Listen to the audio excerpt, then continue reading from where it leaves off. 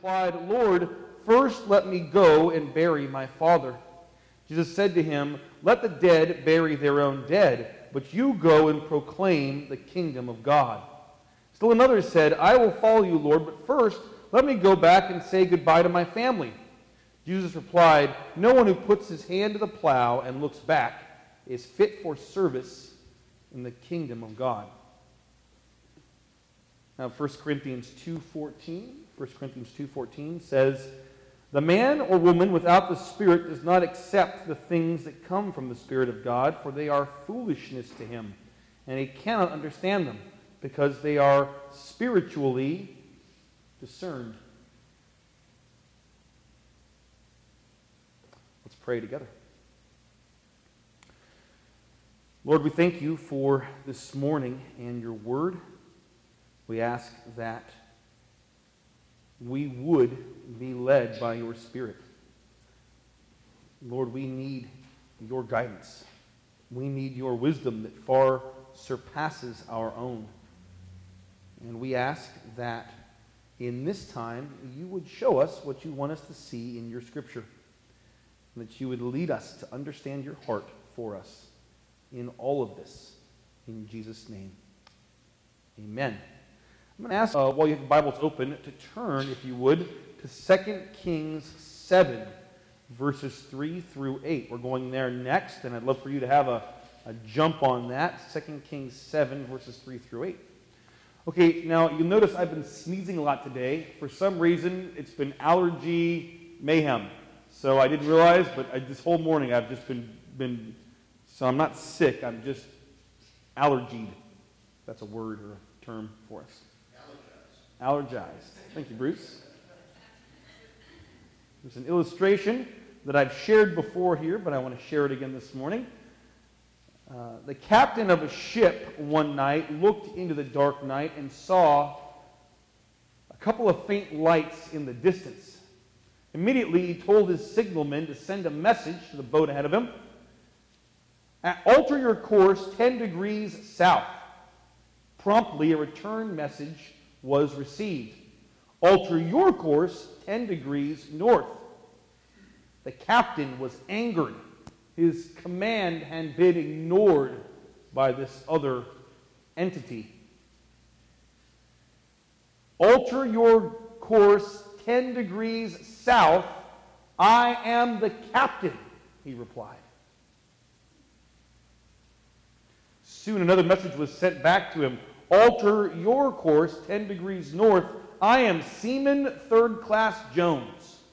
Well, the captain got pretty upset about this response. Immediately, the captain sent a third message, knowing the fear that it would produce in Seaman Third Class Jones. Alter your course 10 degrees north. I am a battleship.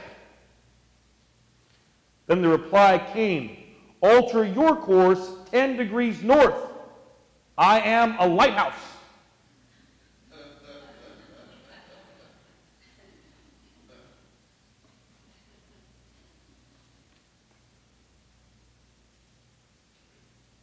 It's funny how um, important and in control we can feel in our own lives. There are many who want full control of their lives even after they can say yes to Jesus.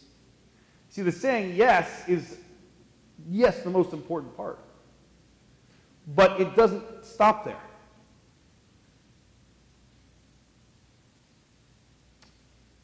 If we're not careful when it comes to commitment or surrender, if we don't want to have God's instruction surrendered to God's instruction in our lives, we can find ourselves in very difficult situations.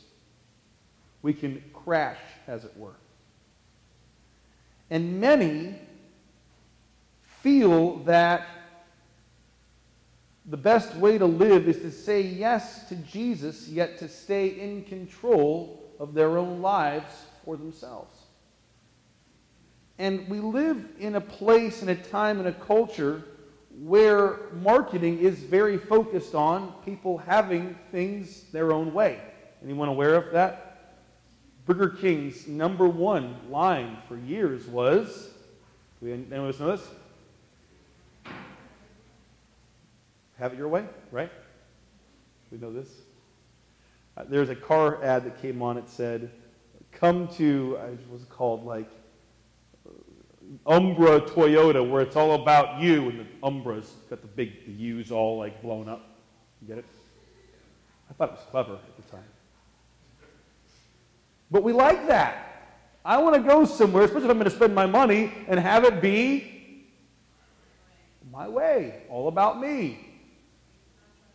It's like Frank Sinatra, right? I did it. Yes. It's a good song. It's really a good song. I mean, it's not good in life with Jesus, but that's a good song of its on its own. Adrian Rogers tells a story about a conversation he had with a man from Romania named Josef Tson. And he said this, I thought it was really good. He said, When you make a commitment, you are still in control no matter how noble the thing you commit to. One can commit to pray, to study the Bible, to give money, to make automobile payments, or to lose weight. Whatever he or she does, they commit to. But surrender is different. If someone holds a gun to your head and says surrender, you don't tell them what you're committed to. You put your hands up and give them what they want. Do we see the difference? Letting go of our right to be in control is surrender. And for many, it's the most difficult of concepts when it comes to the Christian faith. I, I, have heard many sermons and I have seen many places in church where they say, Here is some information, now you decide. And it is right for us to decide, but we have to, we have to be clear in what influences what we decide. Does that make sense? We have to be clear in what influences what we decide. Is it the Word of God? Is it the heart of God? Is it is it living out things in a way that glorify the God whose we are? Or is it about something else? There are always temptations to compromise. In fact, I would say to you that oftentimes it's a lot easier to not be led by God's word and truth in how we live. But that's just commitment.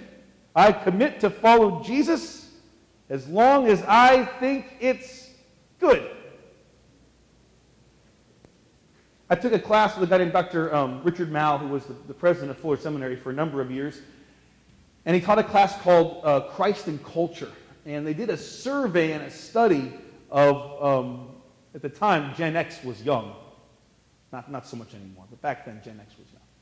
And they did a, survey of a lot of, of uh, of young, young Gen Xers at the time, and a lot of them said that they really liked this concept, I'm not going to give you the, the, the, the, theological term for it, where you pick and choose what you want. So you can have someone who believes in Buddha, someone who believes in Wicca, but yet someone who knows that God answers prayer. And you can put it all in the smorgasbord of, of, of belief systems that actually contradict each other and it's considered acceptable, and, they, and it's just part of the New Age spirituality. And a lot of people feel really good about doing that. The only problem is, is that for the Christian, if we're not led by God's truth, we're able to fall for anything else. And I've known a lot of really good people who have fallen for a worldly perspective as opposed to a biblical truth. Anyone ever seen that happen before? It's common, especially in our culture, especially in our city. And so, this idea of commitment or surrender is really a big deal when it comes to life with Christ. And so, we come to our, our next passage here, a very, a very neat passage, a very um, somewhat of an unknown passage for a lot of folks 2 Kings 7, verses 3 through 8. So, just to give you a little bit of background into what's going on here, um, Samaria is being uh, besieged by the Armenian army. Ar- no, Aramean, sorry. I always get confused. Yeah, I know, I know. I, not the Armenians, Arameans. so the Arameans are a great worldly power. They've come and they have besieged Samaria. Um, food is incredibly high. In fact, in the passage before um, this part of the scripture, there was a, a, the king of Samaria was going through and found that a woman had ate her own child. Ew, bad. So it's that desperate in Samaria. There is that little food in the city as the um, Aramean army is besieging um, Israel, uh, is besieging Samaria, the city in Israel. Remember, there were two kingdoms. There was Judah and there was Samaria, the northern and southern kingdoms, after Solomon died. They split. The kingdoms of, of Israel split. And so Samaria, the northern kingdom, is the one that's being besieged. And Elijah is the prophet there. So 2 Kings 7, 3 through 8. Now there were four men with leprosy at the entrance of the city gate. They said to each other, Why stay here until we die? If we say we'll go into the city, the famine is there, and we will die. And if we stay here, we will die. So let's go over to the camp of the Arameans and surrender. If they spare us, we will live. If they kill us, we will die. Good options, right? At dusk, they got up and went to the camp of the Arameans. When they reached the edge of the camp, not a man was there. For the Lord had caused the Arameans to hear the sound of chariots and horses and a great army, so that they said to one another, Look, the king of Israel has hired the Hittite and Egyptian kings to attack us. So they got up and fled in the dust and abandoned their tents and their horses and their donkeys. They left the camp, and it was as it was, and ran for their lives.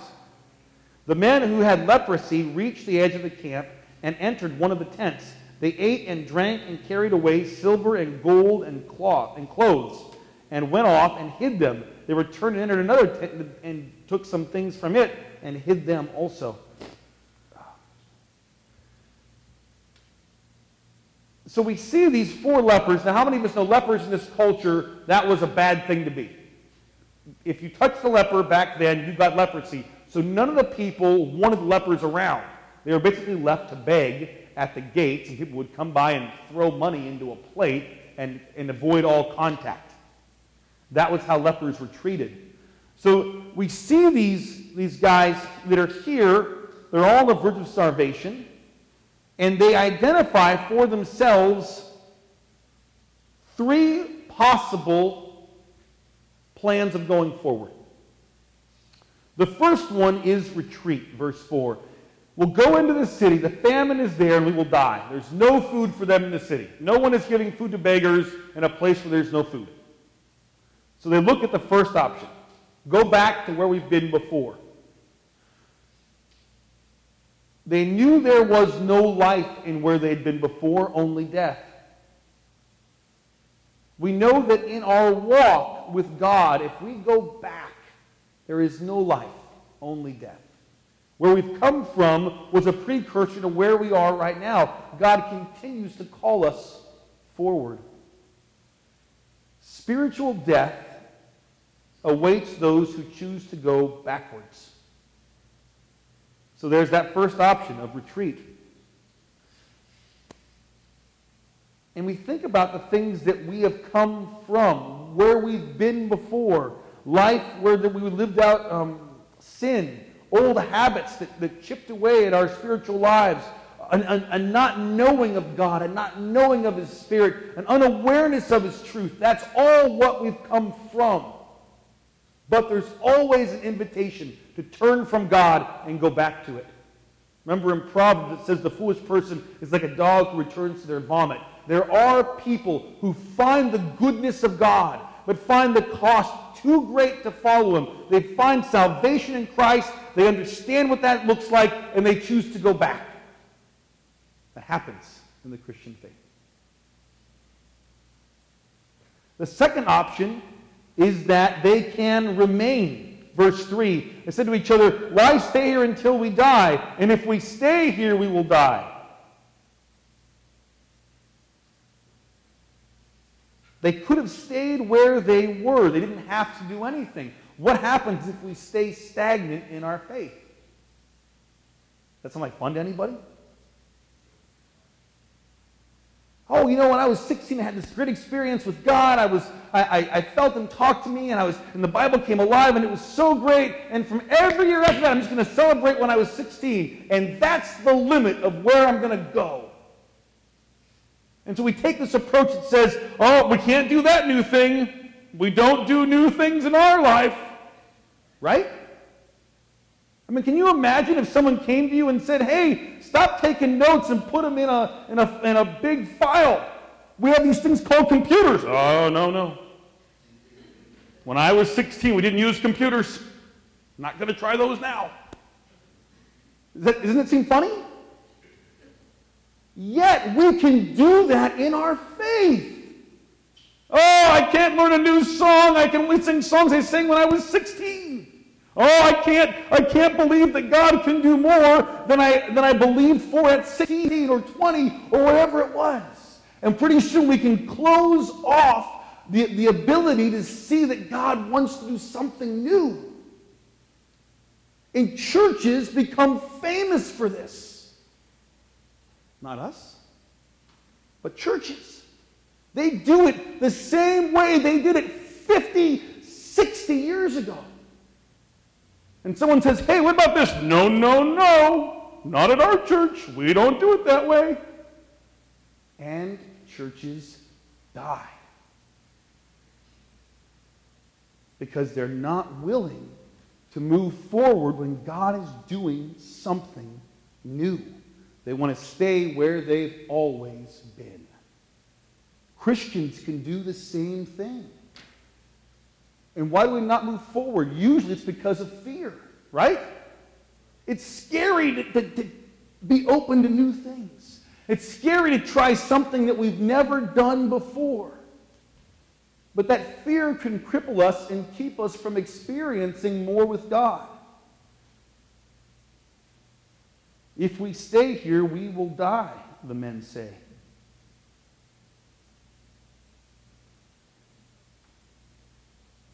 The third option move forward into the unknown. Move forward into the unknown. At dusk, they got up and they went to the camp of the Arameans, not the Armenians, Nancy. I'm watching that. The, the Arameans, when they reached the edge of the camp, not a man was there, for the Lord had caused the Arameans to hear the sound of chariots and horses and a great army. And they said to one another, Look, the king of Israel had hired the Hittite and Egyptian kings to attack us. So they got up and fled in the dusk and abandoned their tents and their horses and their donkeys. They left the camp and it was and as it was and ran for their lives. The men who had leprosy reached the edge of the camp and entered one of the tents. They ate and drank and carried away silver and gold and clothes and went off and hid them also because they were willing to go into the unknown, they found great abundance and life. Not only that, these four lepers came back to the city that was starving to death and told them the, the Aramean army was gone and everyone came out and got food. The easy thing would have been to stay where they were or go back to where they had been, and they would have died for sure. But because they were willing to go forward, they found not only enough food to eat, but an abundance of new things that blessed their lives.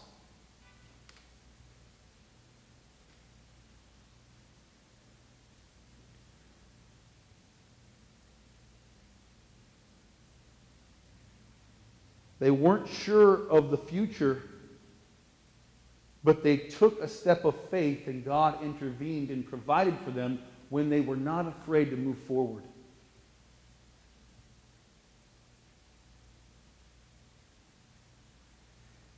In moving forward, also, moving forward into the unknown also allows God to do something that maybe He's never done before in our lives. If I play it safe in my life, in my faith, in my Christian walk, if I never try anything new, again, new in terms of the scriptures and the spirit, not something crazy, I can't allow God to show me what is possible in areas that I don't know about. Make sense? And I believe that more than anything, God wants to continue to increase our understanding of what it means to rely upon Him, of what it means to see Him do the incredible, the impossible, or even the possible that we haven't yet been able to do before for ourselves. You see, God didn't save us so that we could be comfortable with where we're at. He saved us so that we could grow in areas and things we haven't yet seen and accomplished and come into. And it doesn't stop. There's never a time in life where it stops. There's a continual invitation to more, to greater. And that's what makes life with God so amazing if we understand it from a biblical perspective. If we practice being in His presence daily, being in His Word, being in worship, saying, Look, in the Scripture, He did these things. Could these things apply to my life? We pray and say, Lord, are you inviting me to something I haven't done before? And He tells us. And I'll tell you what, sometimes we're more afraid of Him telling us than not hearing from Him at all. Does that make sense? What if he says to you, I want you to start volunteering at the homeless shelter once a week? Some of us are scared to death of that. That's not fun. I mean, it, it can be fun, but it can be scary. It is fun. I, I think it's fun. But the first time that I went, I was scared. The lady started walking, there's a lady walked up to us she started, she had more expletives and more bad language than I have heard in a long time. You know? And she didn't smell good. And we're called to say, hey, even though you have got really bad language and you're scary, you don't smell well, I want to love on you. I mean, for people that don't know Jesus, that's nuts. I just write a check. No, I'm serious. You know, and God challenges us in a lot of ways because He wants us to have a fuller experience of Him. Maybe the challenge is to love on that person in your family or your workplace or your life that's a real pain in the tush. No, I mean, that could be the invitation. That, that family member who you just want to strangle and say, God wants you to love on them. And so sometimes we're, we're more scared of what God's going to call us to than not hearing from Him at all. But I promise you that if we trust and if we're willing to hear, if we're willing to surrender to God and say, God, what do you want to do? What are you saying? And I want to live that out. I promise that in the end, even though it's uncomfortable, we grow. Good comes out of that. I mean, that's good. We don't help others to feel good about ourselves. We help others because we want people to see God glorified. We want people to understand who God is better because they were in touch with us.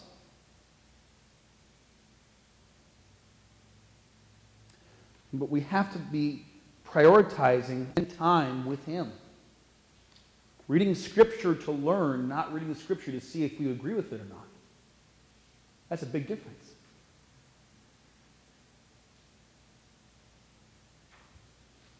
if we're willing to yield to Jesus in surrender and take up more of Him, we'll be different people.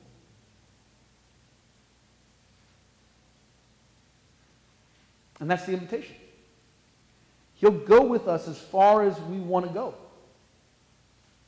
You know, the good news is that at the end, every knee will bow and every tongue confess that Jesus Christ is Lord when he comes again, there's not going to be an option. But up until that time, we have a choice. And it's a great choice. After death, there are no options. We're just up in heaven, and it's worship, and it's glory, and it's the best existence anyone will ever know. But we get to choose at this point in life how much we want the Lord in our lives and what it looks like for us. Are we going to go forward? Are we going to stay where we're at? Or are we going to go back because the cost is too great? Those are the options that we all have. And I love that God created us and loves us and gives us a choice. He's a God that always gives us a choice. If He controlled us into making the decisions that would lead to all the abundance, it's not love, it's control. And how many of us know that God made us because He loves us? Right? We're His children. We're his, we're his, we were created by Him for relationship with Him. But relationship with Him has to be our choice. Otherwise, it's not love, it's just control. It's a good truth. Let's close in prayer. And Lord, for each of us, this means something different. We're not all called to the same thing. But we are called to surrender to you, to your spirit, and to your word. And we thank you, God, that that is your truth. That is your desire for us. That we every day would wake up choosing you over everything else. And Lord, we thank you for the reality that if we do choose you over everything else, you provide all that we need because that's who you are. But that first and initial surrender is a very hard one. And Lord, for many of us, it takes many years of constantly saying we choose you over the other things. But God, thank you. Thank you that we have the opportunity. Thank you that you give us the choice.